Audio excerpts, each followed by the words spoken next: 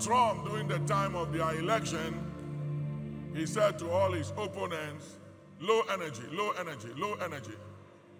And he was going on a higher energy, higher energy.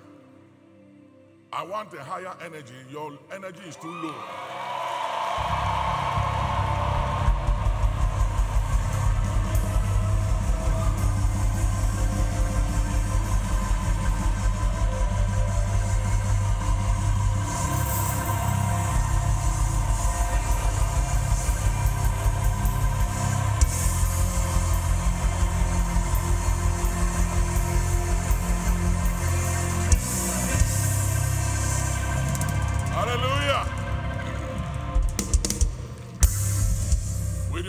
Lifted up, say, Heavenly Father, in person, online, we have come from different works of life to draw, to draw from you, to receive of you fresh word, insight, revelation, to increase our level of light and to discover new keys to unlock all the possibilities of tomorrow. Therefore, Heavenly Father, let spells be broken. Let blessing blockers be arrested. In the name of Jesus, right now, let every spirit of defiance in the atmosphere. Break in the name of Jesus. Right now, as we put our hands together, let the word of the Lord have a free course.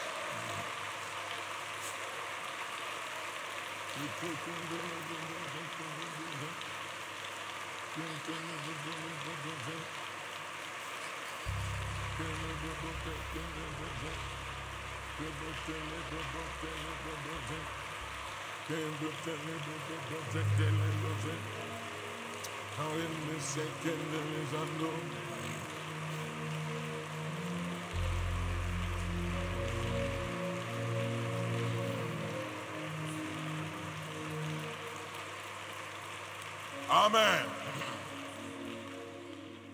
Today is the first day of the month. Eh?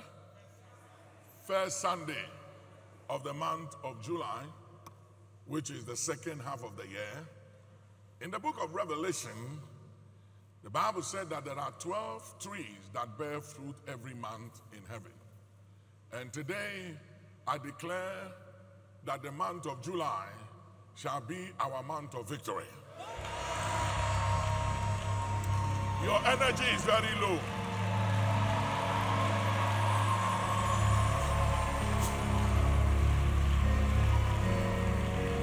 And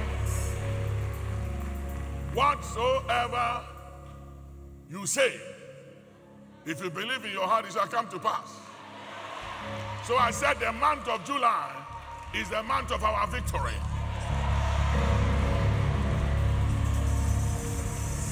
Now, I want to talk to you about the master key of the kingdom. The master key. Tell somebody the master key. Uh, there are keys, but there is a master key that unlocks a lot of doors in this kingdom. In this kingdom, keys are very critical.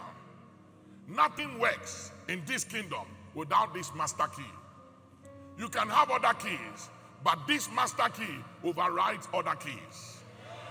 And you need this master key to function in this kingdom that you and I belong to. Anything you do outside this master key, it does not work. So give me 1 John 5 4. 1 John 5 4. Yeah, thank you. You may be seated with a shout and a clap offering. Amen. Whatsoever is born of God. For whatsoever is born of God overcometh the world. And this is the victory that overcometh the world, even our faith. So, what is the victory that overcomes the world? Our faith. Come on, talk to me. Give me some high energy. What is the victory that overcomes the world? So that is the victory. Faith overcomes this world.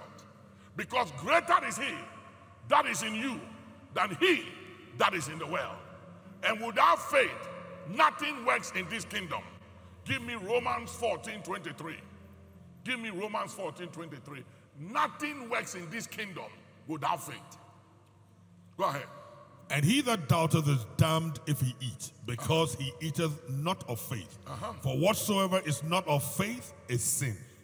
Whatsoever is done in this kingdom without this master key called faith is sin. See, I hear you. Then, if you come to the book of Hebrews 6, uh, Hebrews 11 6, Hebrews 11 6. But without faith it is just impossible to please him. How many of you want to please God? You want to please God? Come on, talk to me. You want to please God? Then understand that without faith, not without wisdom, not without knowledge, not without understanding, all those things are critical. But the master key here is without faith, it is impossible to please God. And if you want to be a God pleaser, you must access faith. You must know how to access this master key called faith. For without faith, it is impossible to please God. Few things you must know about faith. Number one, faith is not a feeling. Write it down. Faith is not a feeling. Faith is not an emotion. Faith is not an opinion or a thought or even a decision. Faith is a spirit. Second Corinthians 4:13. Faith is a spirit. Faith is a spirit. We having the same spirit of faith. We having the same thought, No, the same feeling of faith, no. but the what? Spirit of faith. The same. Spirit of faith. So they say faith Faith. is a spirit. Spirit. That's it. And if you go ahead reading, According as it is written, Uh-huh. I believed and therefore have I spoken. yes, sir. We also believe and therefore speak. So faith is activated, or faith is released, or faith works through your mouth. Say faith is released, it works, it's activated through your mouth. So use your mouth. Tell somebody, use your mouth to activate your faith. Faith that does not speak is not faith. Faith speaks. Tell somebody, faith speaks. Tell somebody, faith is not silence. The Bible says, with the heart, man believes unto righteousness, but with the mouth, confession is made unto salvation. So you can believe, and until you speak what you believe, you don't have it, and it's not faith. Faith that does not speak is not faith. So if you have faith, the way you activate and release your faith, and the way you work your faith is through your mouth. Say, I hear you. Now come to Romans 12 and 3, because there's a lot of you who say, Well, well, I don't have faith. I don't have faith. I don't have faith like others. I don't have faith like Papa. Now I'm going to show you why you think you don't have faith. And I'll show you why a lot of you, your faith is still at the level where it has been since you got born again. Go ahead and look at it. Romans 12 and 3. For I say, through the grace given unto me, to every man that is among you, not to think of himself more highly than he ought to think, but to think soberly, according as God has, give, has dealt to every man, That God has what? dealt to Dealt every with every one of us the measure of the faith. measure of what? faith. So tell somebody you have a measure of faith. Tell somebody you have faith, but it's a measure. Now, whether you are going to grow higher than the level of your faith, whether your faith is going to be stronger than it is right now at where you are, it has to be tested. It has to be tested. Everything that God created is tested. Somebody said to me, say, Papa, what happens when you are not hearing God? And when God is silent and He's not speaking? I said, whenever you don't hear Him, whenever He's silent, and whenever you are dealing with things that you can't make sense of, things that don't add up in your life, whether it's about your husband, your wife, your marriage, your children, your grandchildren, your loved one, you are going through things and you are dealing with issues. You can't make sense of it. It does not add up. Uh-huh. There is a strong possibility, ladies and gentlemen, that your faith is being tested or tried. Realize that whenever you are in the exam room going through exam, your teacher is silent. Teacher don't speak during exams.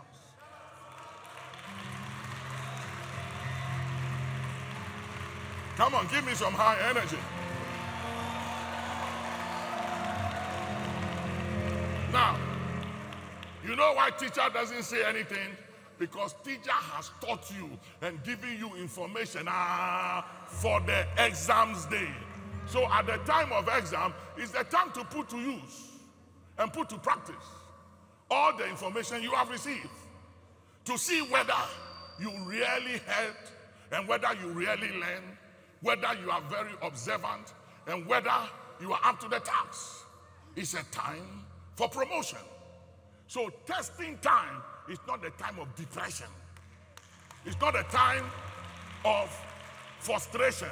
It's not a time for being anxious, panicking, crying, fearing, doubting God. That is not the time for that. Anytime you are being tested, you are being prepared for another level. To go to another class. Say, God is getting you ready for another class, getting you ready for another dimension. Say, I hear you. You see, the issue with Abraham, the fathers of faith, and if you look at somebody like Noah, when Noah was building the ark, the issue was not the ark he was building, but it was whether the ark he was building would pass the test. That when the flood came, would the ark leak and sink, or the ark would float on top of the water? That was the issue. If you look at the two men who built, one on the sand and one on a rock, it wasn't about the buildings because they were all standing as buildings.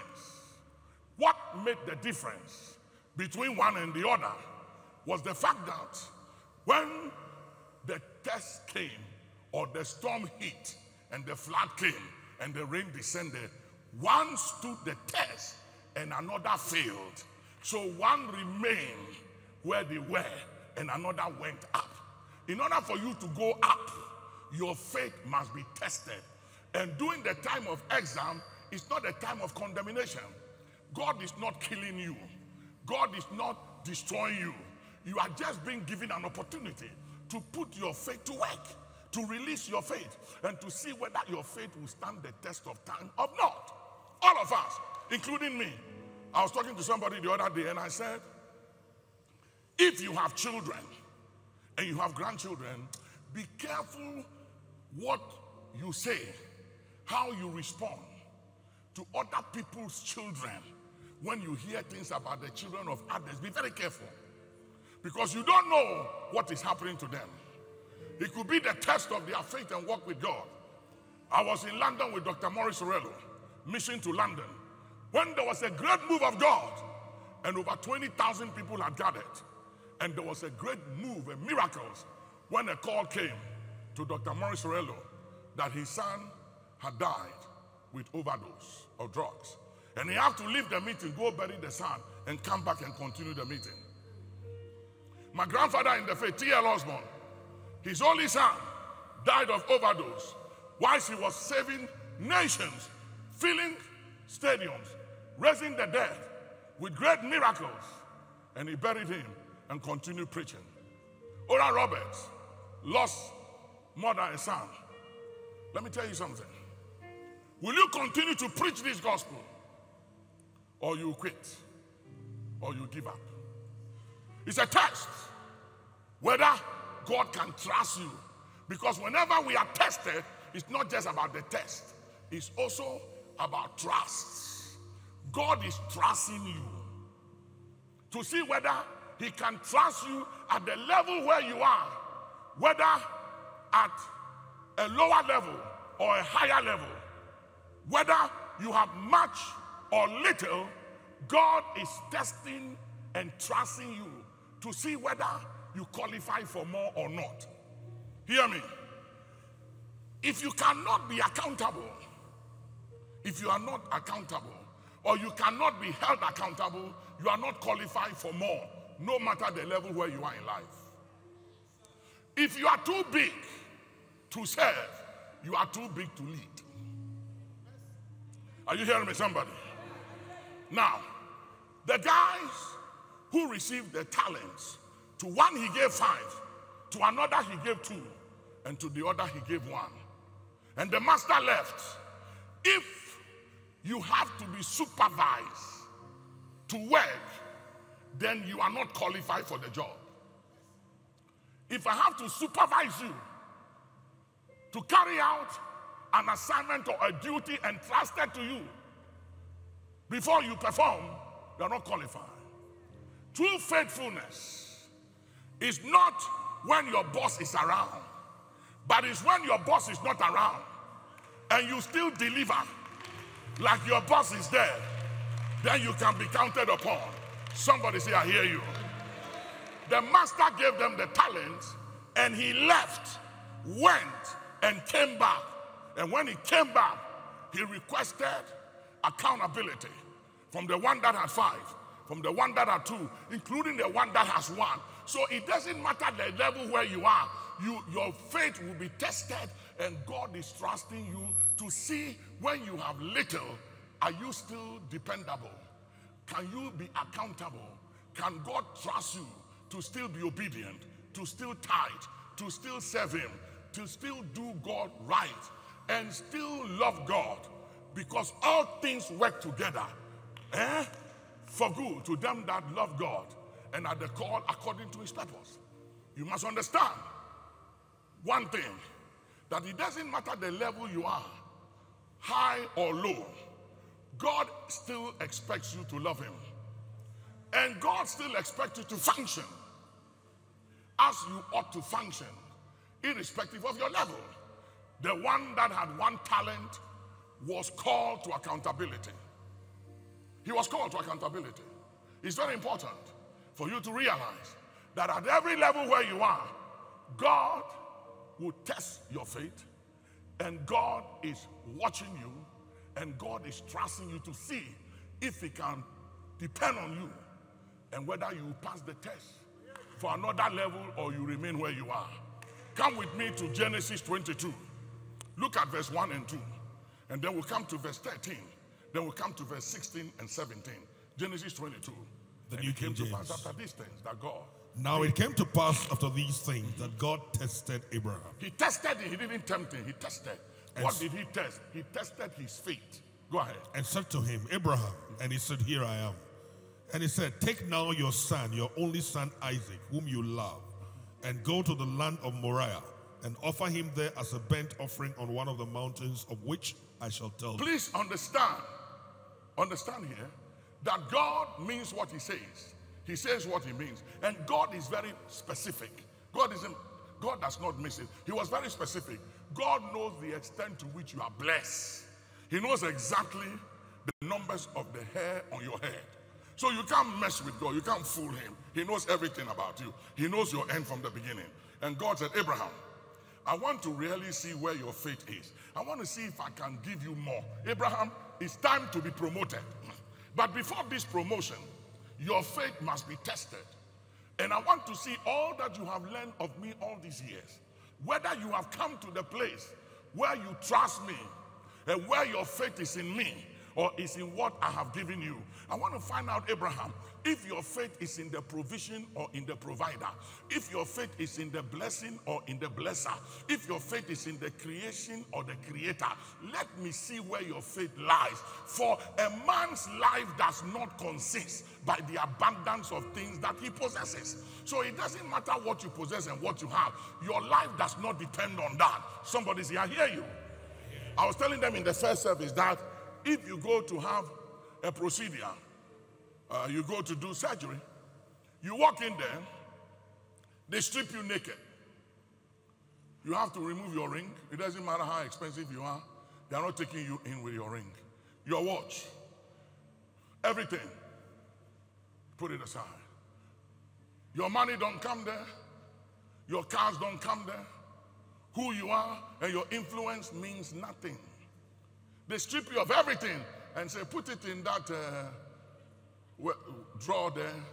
And then they give you some gown. They give you some gown. Just cover yourself. Then some small lady will come and say, Follow me. And then the lady will say, Lie on this bed. What is your name? Tell me your date of birth. By the time you finish, you are up. And she will say, Welcome back. Go to the drawer. Your, your underwear is there. I saw it. Your watch is there. And you pick everything up. You are nothing. You are nobody. So please, take it easy. I know you are loaded. I know you are connected. I know you are powerful. I know you have masters and degree and PhD and you've been to the best of schools and everything. But you know something? Take it easy. Because all that is sinking sand. Come on, somebody talk to me. Give me some high energy. I said, all that is sinking sand.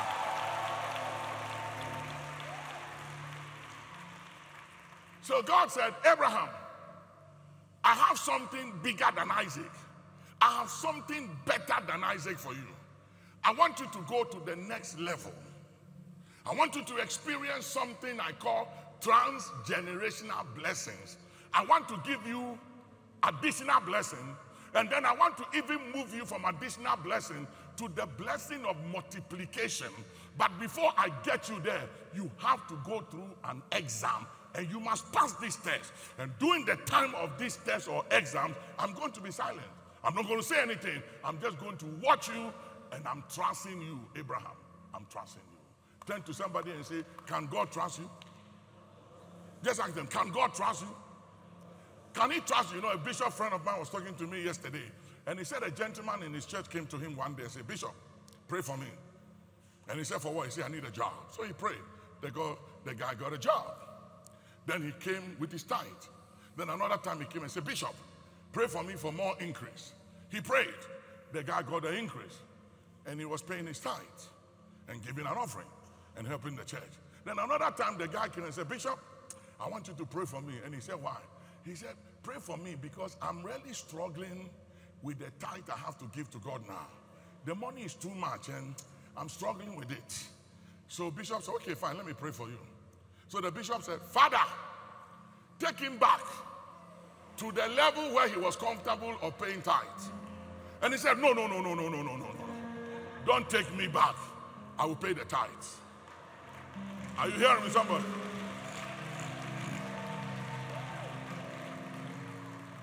His faith was tested at that level and he was struggling.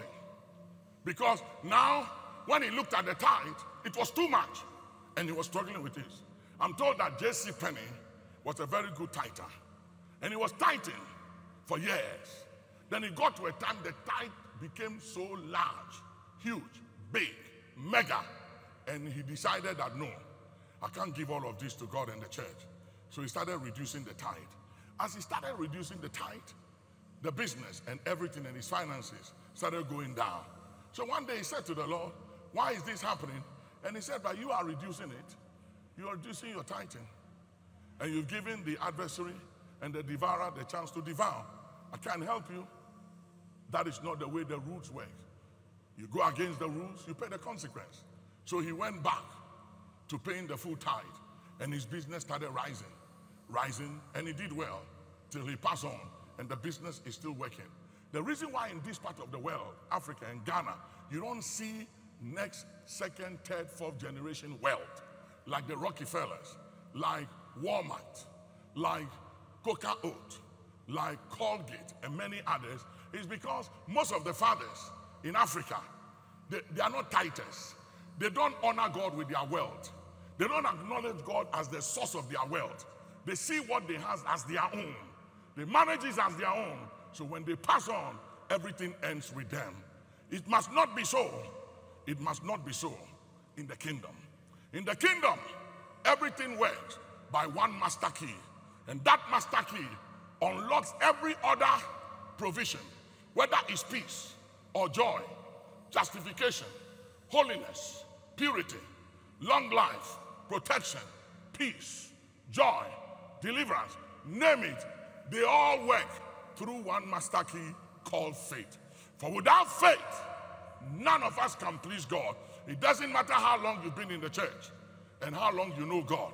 If you don't have faith, you have an issue with God, and God has an issue with you. You cannot please Him. Somebody say, I hear you.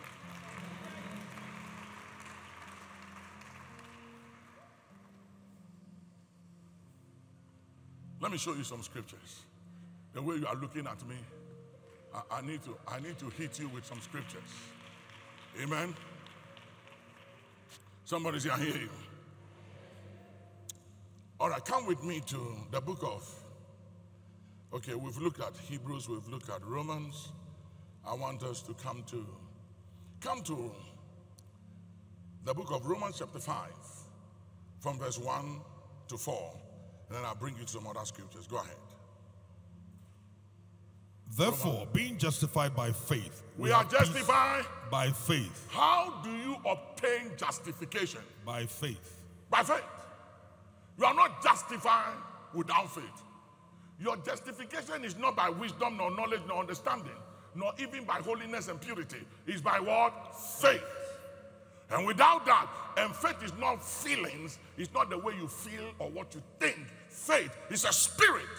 And faith is the product of the word of God spoken by the Holy Spirit.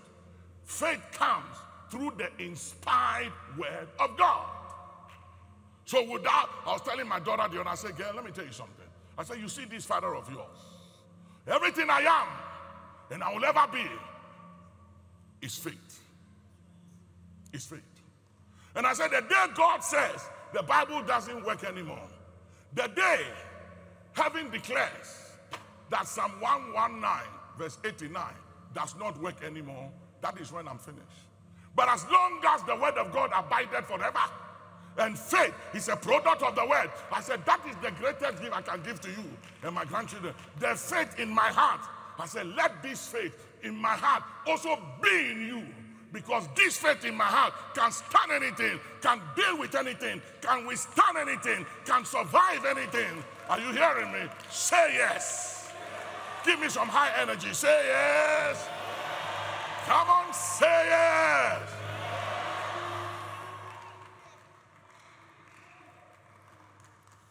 Therefore, being justified by faith, we have peace with God through our Lord Jesus So Christ. So faith brings justification and guarantees peace. You can't obtain peace nor justification without faith. Go ahead. by whom also we have access So faith, faith. also gives you what? Access. It gives you what? Access. So without faith, you don't have access. You can't access anything in this kingdom outside of faith. Go ahead. By whom also we have access by faith into this grace wherein we stand We stand. and rejoice in hope of the glory of God. Uh-huh. And not only the only so, but we glory in tribulations You know also. what the tribulation here stands for? Is is when you are being tested. Yeah. Going through the exams. And my test is not your test. Neither is your test mine. We are all tested in different areas of our work with God. Different areas of our lives can be tested in the area of your marriage, your wife, your children, your husband, your health, and your finances. In everything, you can be tested. And God tested Abraham and said, Abraham, What I have for you is bigger and better than what you had. You waited 25 years. I tested and trusted you, and you passed it, and I gave you Isaac. Now I have something bigger and better than Isaac. If you give me Isaac, I will give you Jesus. If you give me Isaac, I will give you that which you've never had before. But in order for you to have that which you've never had before, I have to test you. I have to see whether you are willing to let go what you are excited about and what you are used to. Are you willing to lose what you get? Are you willing to let me test you? And can I trust you with something more and better than you've ever had? And before you can have what you've never had before, I got to teach you how to let go of what you have and how to move your faith and trust out of what you've never had before into what I have in stock for you. So look at Genesis. No, finish, finish, finish this and let's go to Genesis. Yes. Glory And not only so, but we glory in tribulation also, knowing that tribulation worketh You see, he said, knowing, we know that when it's time for exams, it's a time to rejoice. It's an opportunity. Exam time doesn't destroy you. So when you are going through trials, tribulation, troubles, you're going through difficult times, that is not the time to quit. That is not the time to be depressed. That is not the time to be emotional. You see, we are not growing, we are not maturing in God because we are always depending on what is on the outside instead of what is in the inside. I was telling some pastors yesterday, I said, a gift can open a door for you, but it takes more than a gift to stay in there. And I said, I said, a son or a daughter can have success or greatness, but it takes a father to teach you how to maintain it and how to handle it and how to manage it.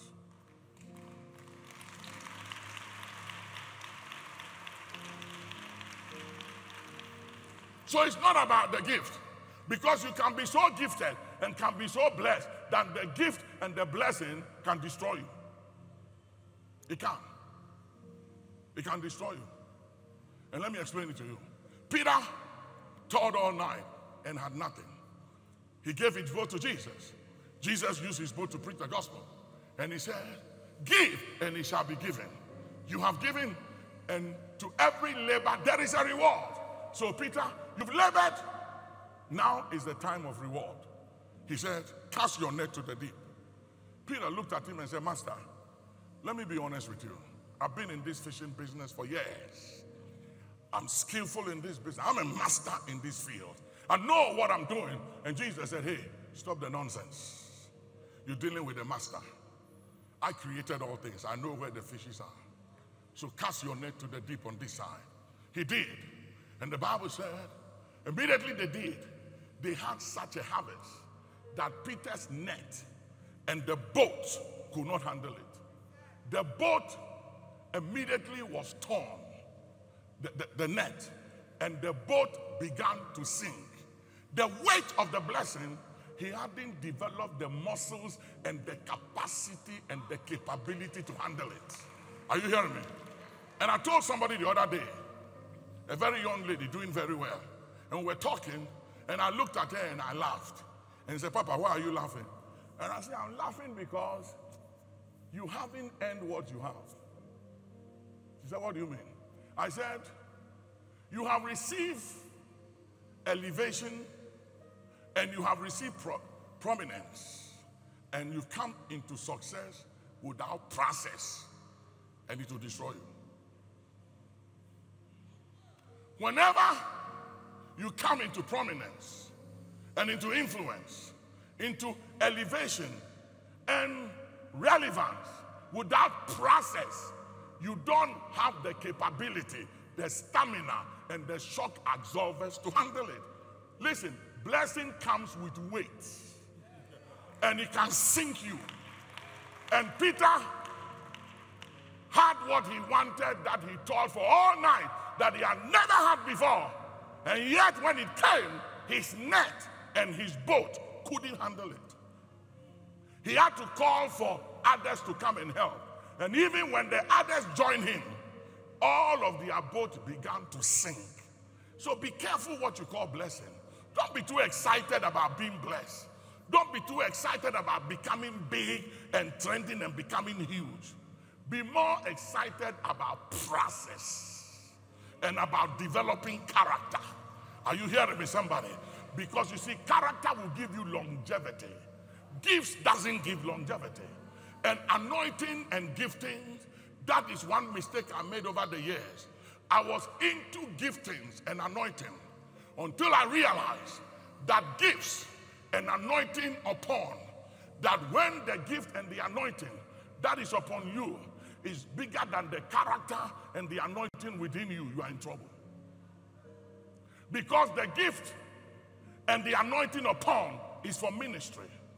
But the gift and the anointing within develops character for longevity. And if you don't have character, you won't last.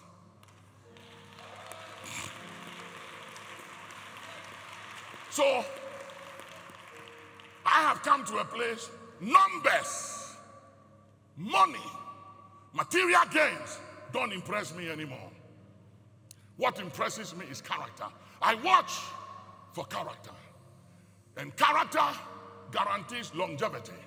I was talking to Bishop Dag Heward-Mills the other day, a few days ago, and I said, Bishop, when I met you at Achimota, and Bishop Oboda was there at that same year, I said, How old was you? He said, 19. And we started laughing. And he said, Do you realize that you and I have been talking for over 40 years? We've married, have kids, grandchildren, and we are still talking after 40 years. We are still talking.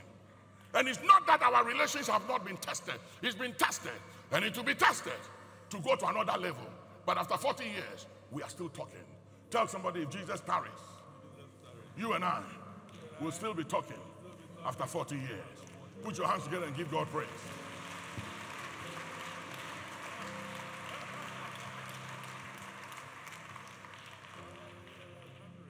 Rejoicing in tribulation. Why?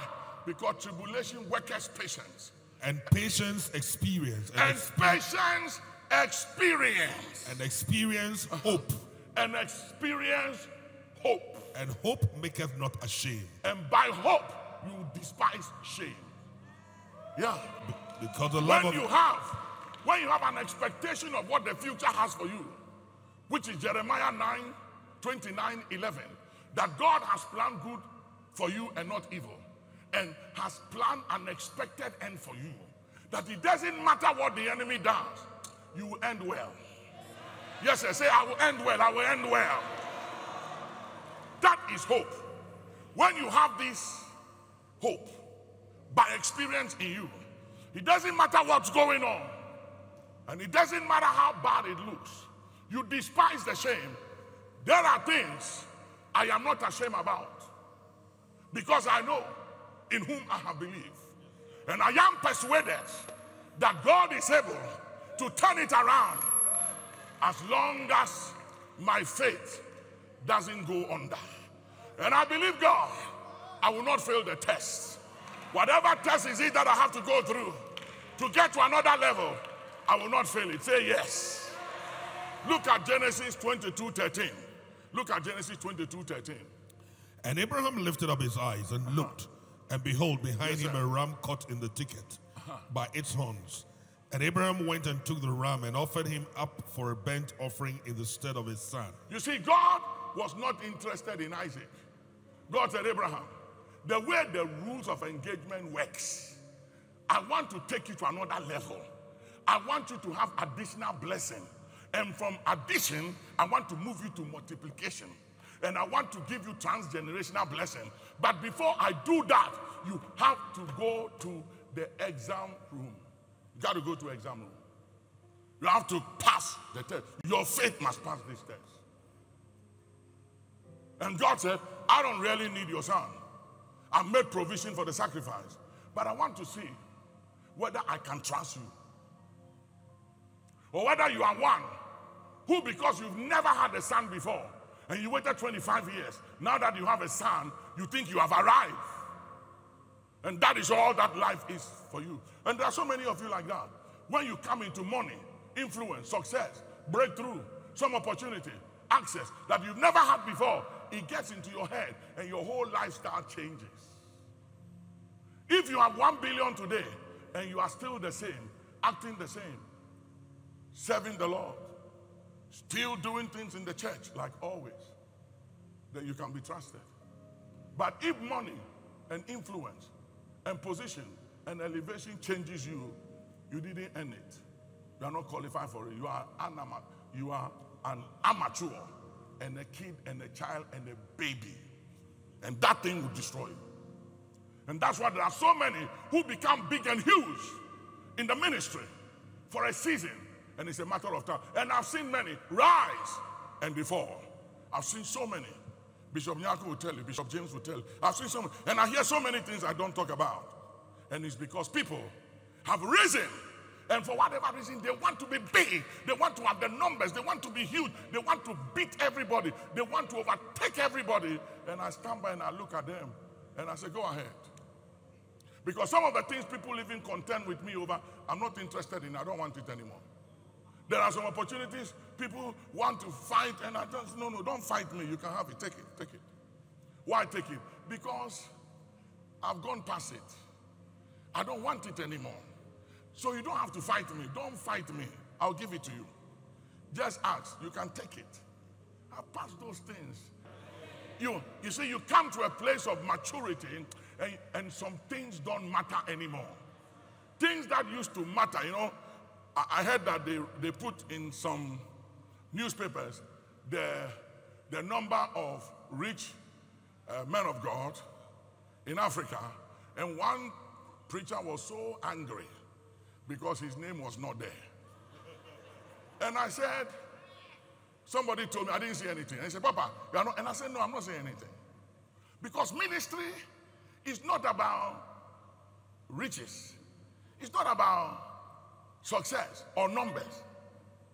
It's about how you finish. It's about how you finish.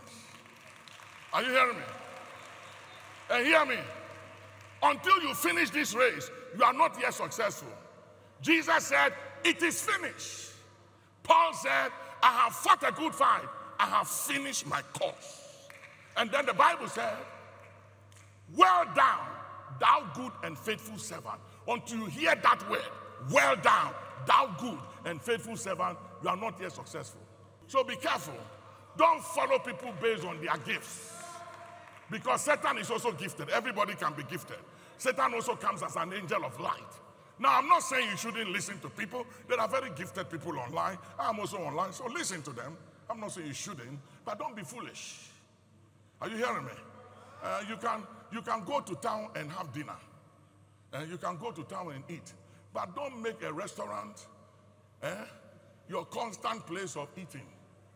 Have food in the house too. And don't throw away the food in the house. Just because you went out and you ate something and it was nicer than the food at home. And mister, sometimes the food you eat outside may be better than that of your wife. Because the wives can't get it right all the time. And sometimes they have to also put more pepper in the food for you because sometimes you, you are crazy.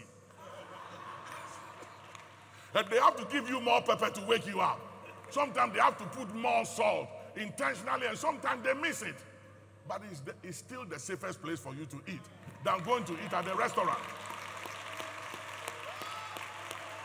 So, I, I, I'm not saying you shouldn't eat at the restaurant because I'll be a fool to say you shouldn't eat at the restaurant because I know you.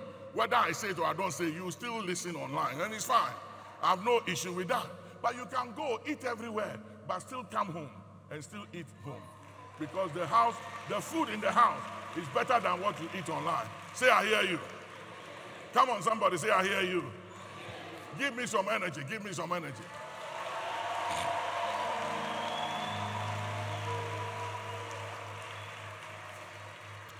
Amen. Bishop, where were we? So let's go to Genesis 26. Let's go to 16 uh-huh. now. 16. So go to 13. We finished 13. So go 16. to 16. Go to 16. And he said, By myself have I sworn, saith the Lord. So this is God, oh. Before the test, And before he went into the exam room, all he had was Isaac. Now, after passing the test, look at God. Number one, he said, I swear. I swear by myself. Here, here God said, Abraham, you haven't heard this before. Because you passed the test, I'm taking you to another level you haven't experienced before. I swear by myself. Hey! Somebody say, hey. Somebody say, hey. Somebody say, hey, hey, hey, hey. Somebody say, look at God, look at God. God said, Abraham, because you passed the test, you are ready for another level. I swear by myself. Go ahead. For because of that thou hast done. He this- said, because, because- thou hast done this thing, Because you passed the test. and hast not withheld your son, And because you didn't withhold what I've given you, but you were ready to let go for more, hear me, you can't have more if you then let go what you have. Go ahead. that in blessing I will bless thee. So he said, You are blessed, but I'm giving you an additional blessing. He said, You are blessed, but I'm adding to what you have. Addition doesn't come until you pass the test. And until you pass the test, you still have what you have. And to have more than you have, you must pass the test. Number two, And in multiplying I will multiply He said thy what? seed. In multiplying. God said, Abraham, I'm moving you from the place of blessing to the place of multiplication. I'm taking you away from addition to multiplication. I will multiply thy seed as the stars of the heaven. And he said, Your legacy you are worried about, I'll take care of your legacy. And your legacy, your seed shall multiply like the stars of heaven and like the sand of the seashore. Go ahead. And thy seed shall possess the gate of his enemies. And he said, Your seed, I will give them dominion and audacity and supremacy to possess the gates of their enemies. That is a blessing you never had before. All you had was Isaac. Some of you, God is watching you, He's testing you, He's trusting you. And you are satisfied where you are. You think you've had it all, you've seen it all. And God is saying, You ain't seen nothing yet. God said, If you know what I have in mind for you, you won't be excited about what you have and where you are, where you've been, and what you've touched. It's all babe talks. I'm telling you. I don't brag about a lot of things anymore because I passed there a long time ago. They mean nothing before God. God is not impressed about what we've done or where we are, but He's impressed of what can be done that is not yet done. Are you hearing me? Now, the Bible says, Eyes have not seen, ears have not heard, neither has entered the hearts of men what God has in stock for those who love Him no matter what. Can you love Him even when He slays you? Job said, Though He slays me, yet, yet, yet, I will trust Him because He demands it, He requires it from you and I. God said, Abraham, I have some additional blessings, but that is not all. I'm moving you from addition to multiplication and to transgenerational blessings. Where your seed after you, I will multiply them, blow your mind. And even when you are long gone, your seed will still have supremacy and dominion over the gates of their enemies. That blessing, that breakthrough never came, ladies and gentlemen, until he passed the test. And God has more in stock for you than you have right now. But to get to the next level and to have more than what you have right now, you must pass the test. Tell somebody, go through it. Somebody say, go through it. Say, stop having an attitude. Tell somebody, stop having that attitude. And stop telling me you are depressed, you are hurt, you are frustrated, you're offended. Those are baby's talk, child language, pettiness. You are not growing. You still remain there. You want to get to the next level? Grow up. How do you grow? Pass the test. No pain, no gain. Come on, put your hands together and give him praise.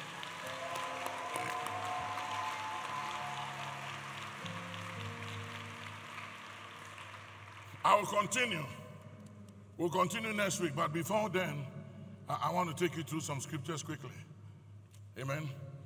Come with me to Psalm 66 from verse 10 to 12. We are going to release our faith and activate our faith after this. Uh huh. For thou, O God, has proved us. Has what? Proved us. Yeah. Uh huh. Thou hast tried us. That is test. Tried our faith. What do you do when God is pruning you? Sometimes when God is cutting back, he said, he said, he said, God will prune every tree so it can bear more fruit. If you're a fruit bearer, God will prune you to bear more fruit. You talk about being pruned. Hallelujah. Archbishop Nyako, Archbishop James, you see him sitting small like that. Eh? You talk about pruning. Uh-huh. He will tell you his experiences. Some of the things when he tells you, you ask for more grace. Are you hearing me? Go ahead. Uh-huh. Thou broughtest us into the net. Thou leadest so go to us. verse 10. Read verse 10 quickly. For thou, O God, hast proved us. Thou uh-huh. hast tried us as silver is tried. You've tried us as silver is tried. Yeah. You are being tested. And when people are going through it, eh, be very careful. Sometimes we are in haste to talk about people's issue, especially about people's children and family issues. You hear things and you don't know what's going on, and then immediately you start talking. Be careful. Tell to somebody, be careful.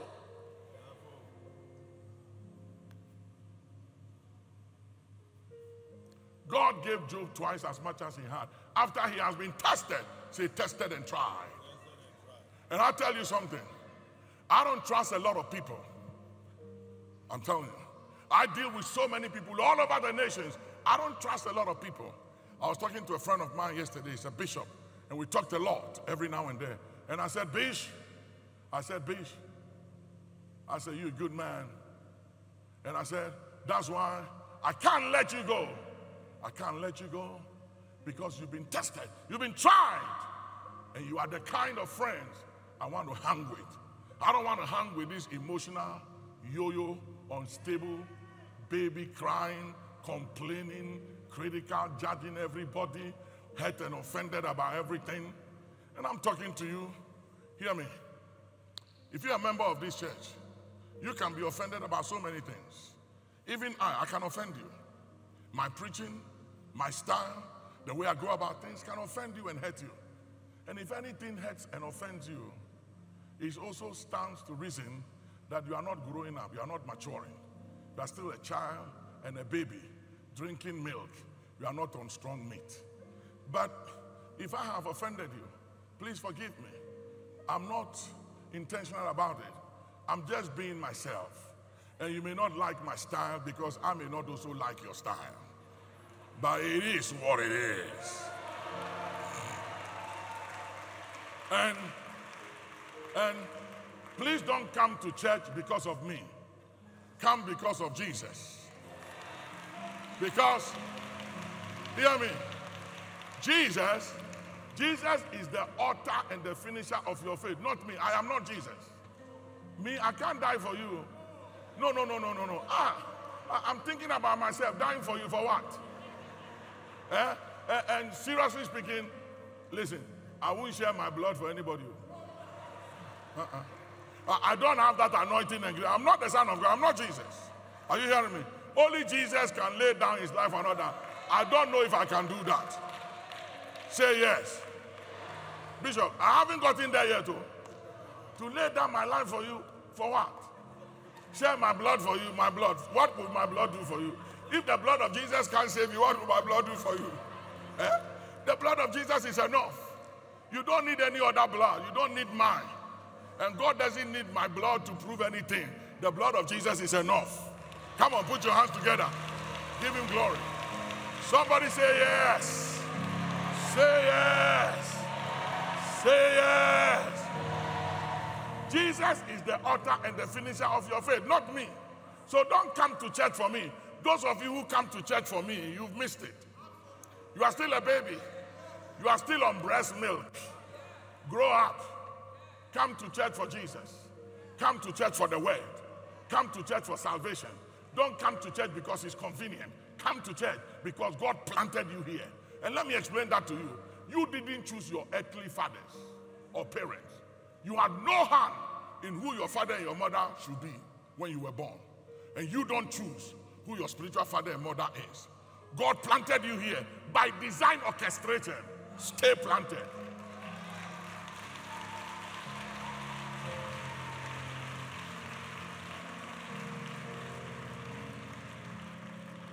Somebody say, I hear you. Go ahead, Bishop. You brought us into the net. You laid affliction on our backs. It means that you allowed affliction, afflictions. All these things come to test our faith. The Bible says he himself took our infirmity, by whose stripes we are healed.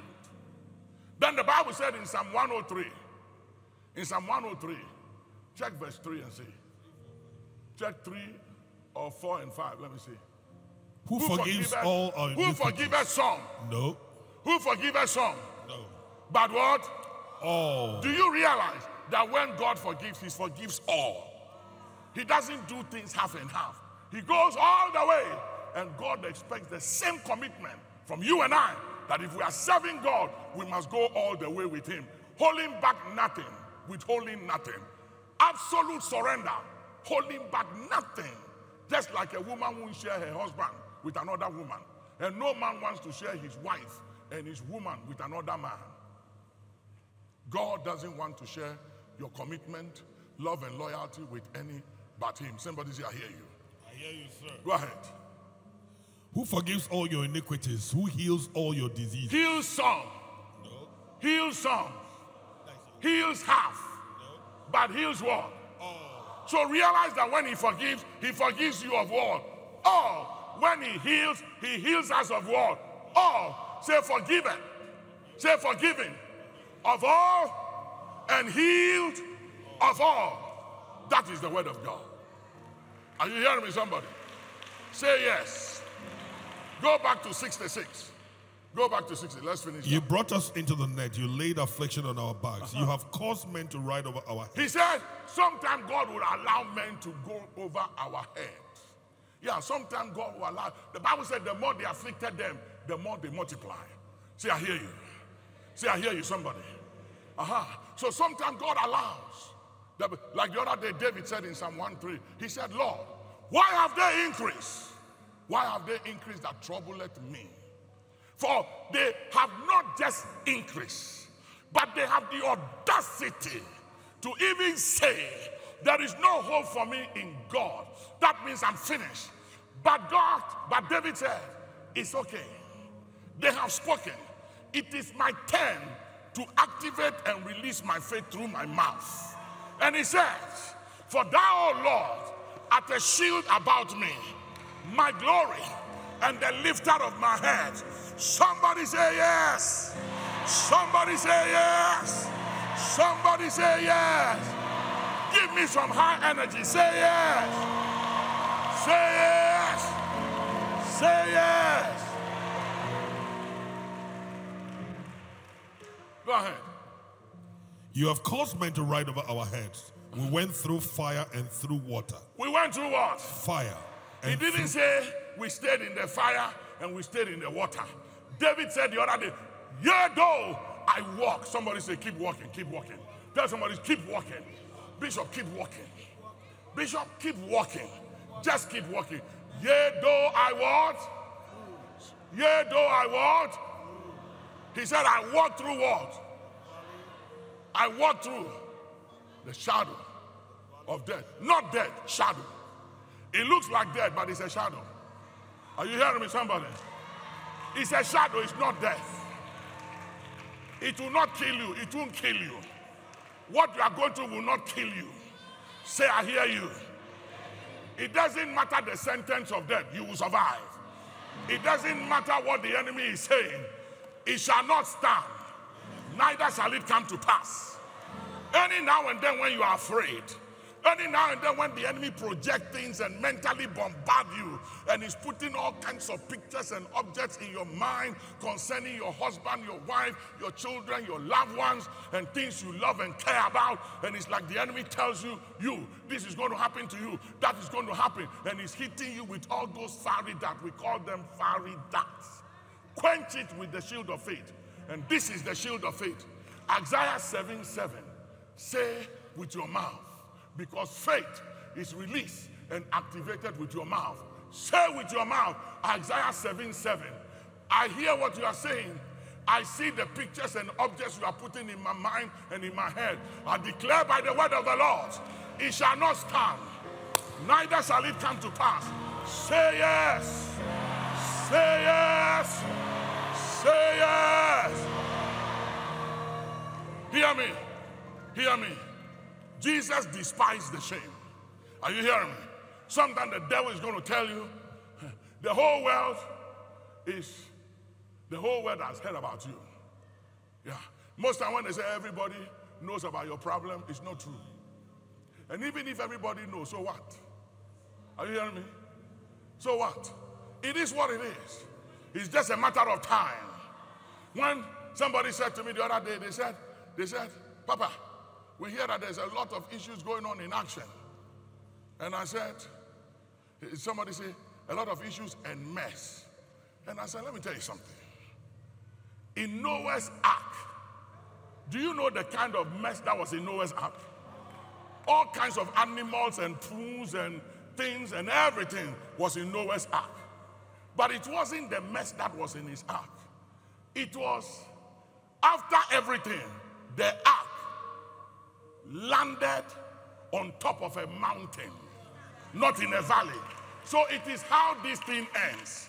Are you hearing me? And I said, at the end of it all, we will land on top, not under. Somebody say, on top, on top, on top. Are you hearing me? Listen. Let people say what they want to say. I always say it's just a matter of time.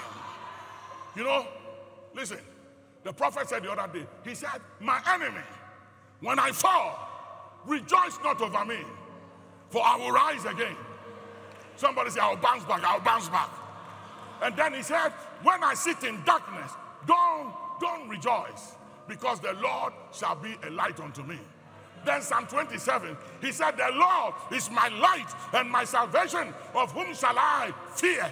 The Lord is the strength of my life. Of whom shall I be afraid? From when my enemies, even my foe, they come up to eat up my flesh, they stumble and they fall. Somebody give me a higher energy. Say yes.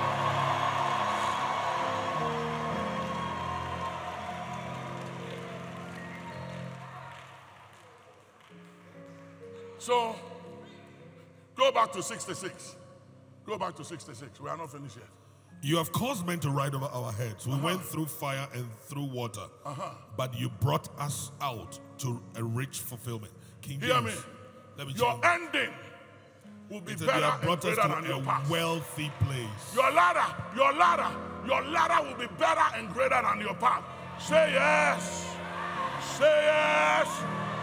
Say yes.